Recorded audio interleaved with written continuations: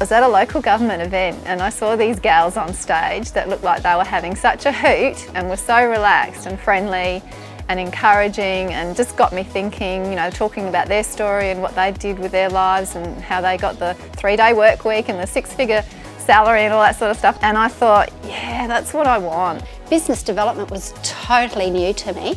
So to have the support of the team to coach you through how to set up a business development meeting was just priceless. I feel really confident about moving forward in my vision to create a business that is going to free me up in my time and utilising the skills that I know that I have.